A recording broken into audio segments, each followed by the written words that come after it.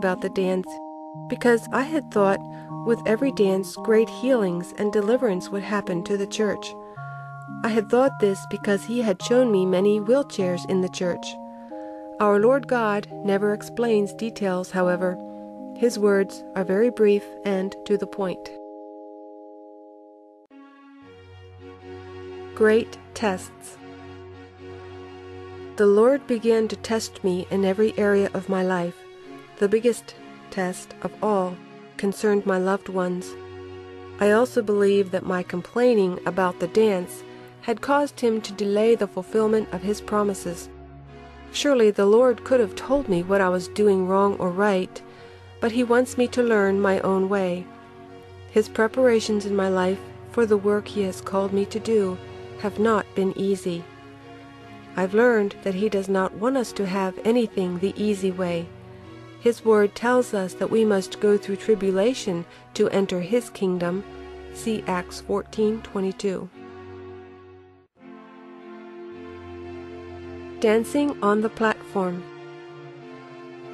On June 17, 2000, after my bedtime prayer and at the end of our talk, the Lord said, You must hear what I say about the dance. I replied, Whatever you say, Lord, I will expect and receive it. He said, You must dance on the platform tomorrow morning. You must go to church early and talk to the pastor and tell him you are going on the platform to dance. When I heard this, my heart dropped, because this is one thing I didn't want to do until miracles began to happen with my dance. Nonetheless, I told him, I will obey you, Lord. My heart was very disturbed about this, because I had been doing the same dance every Sunday, facing toward the congregation, since January 9, 2000. I had already heard from one of the pastors that church members were asking why I didn't turn toward the worshippers. I told him that I have to obey the Lord. It is not because I want to do this. My greatest concern has been that I would not disturb the worshippers, but I go against the Lord about such matters. My only response must always be that I would obey Him. About three months ago, I thought, what if the Lord wants me to go to the platform to dance? So I talked to the senior pastor, Pastor Wolfson, and asked him if I could dance anywhere, even on the platform. The pastor told me that I could dance anywhere, even on the platform. After he said this, I thought it wouldn't be a problem for me to dance on the platform if the Lord so directed me. When I got up on the morning of the 18th, I felt happy to be doing whatever the Lord asked me to do.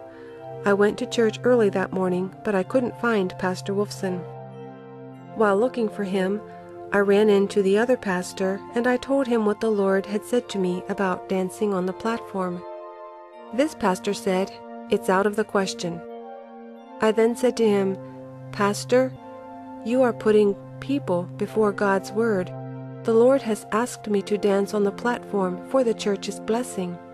Then the Lord said to me, Do not be concerned about this. I will take care of it.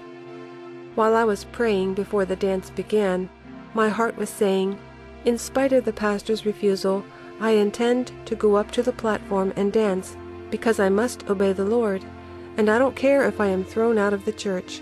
If there isn't enough room in front, I will go behind the worshippers if the Holy Spirit takes me there. Whatever the results, I didn't want to disobey the Lord. The Lord always knows my thoughts.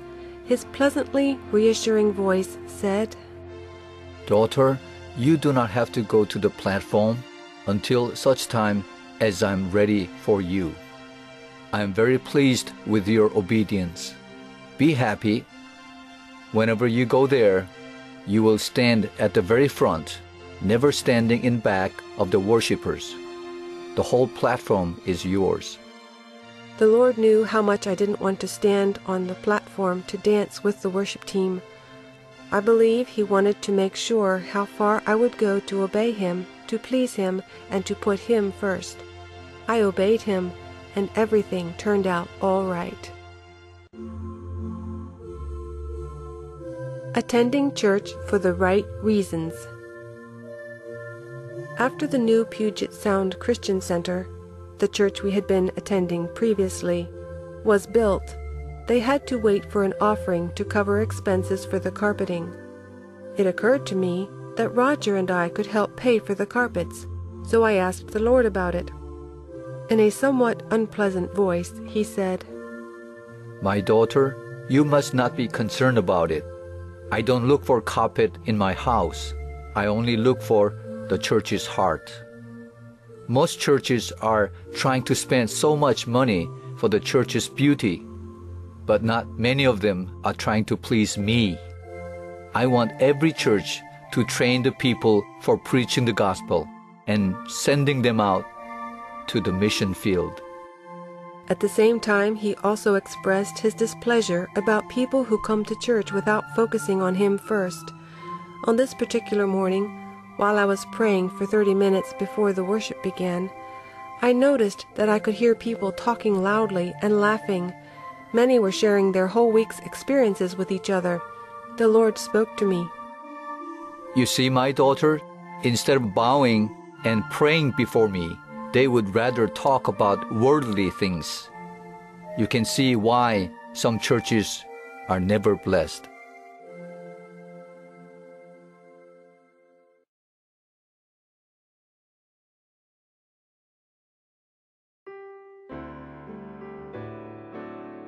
Chapter 26 Evangelism and Giving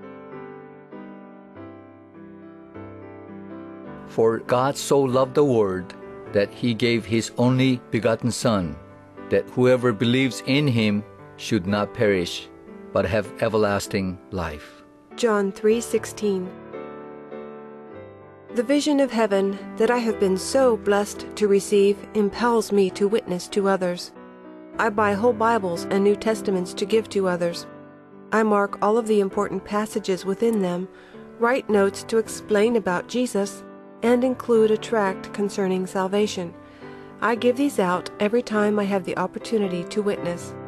Since December 1999, I have also included our church bulletins and a tape of Mary K. Baxter's A Divine Revelation of Hell in the materials I hand out while witnessing. I put all of these in one package, and each time I go out, I take several with me. I've been giving them away as the Lord leads me. I never bring any of them back. I talk to people everywhere in grocery stores, parking lots, the mall, other stores, at the post office, and in waiting lines at banks or anywhere else. What a privilege it is to witness for my Lord wherever I go. My desire to talk about Jesus is so overwhelming that I truly cannot help myself. Sometimes this is irritating to others who go with me, therefore, I usually go out alone. I have learned that the best way for me to begin witnessing to someone is to simply ask if they believe in Jesus. Many will respond, I believe in God. This usually means that they don't know anything about Jesus. It is then that I begin to present the gospel message. I do experience some rejection when I'm witnessing, but this doesn't bother me at all.